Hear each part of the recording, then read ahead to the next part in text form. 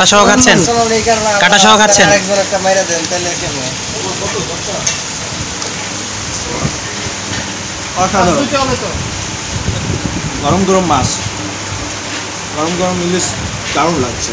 পাশেই পদ্মা নদী নাকি? পাশে পদ্মা নদী। কোথায় আছেন আপনি? আমরা ওটা বলেন। আমরা এখন মাওয়া আছি। মাওয়া থেকে আবার ঢাকায় ফিরবো ইলিশ খেয়ে আর যেরকম ইলিশ খাচ্ছি মাঝে মাঝে কোন টাইমে আসলে বেশি ভালো হয়? মানুষ তো ডিম পছন্দ করে ডিমওয়ালা ইলিশ যদিও খাওয়া নিষিদ্ধ।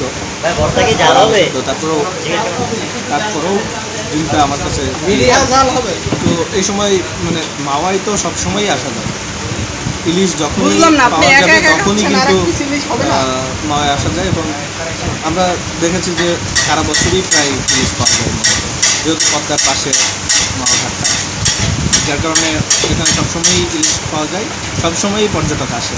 আমরাও আসছি খাওয়ার জন্য ইলিশ অনেকদিন পর করোনার কারণে তো বের হতে পারিনি। তো দীর্ঘদিন পর বের হয়ে আমরা ইলিশ খেতে আসলাম। এই যে আমাদের ইলিশের লেজ ভর্তা। শুধু ইলিশ ভর্তা বলা যাবে না ইলিশের লেজের অংশ ভাজি করে তারপরে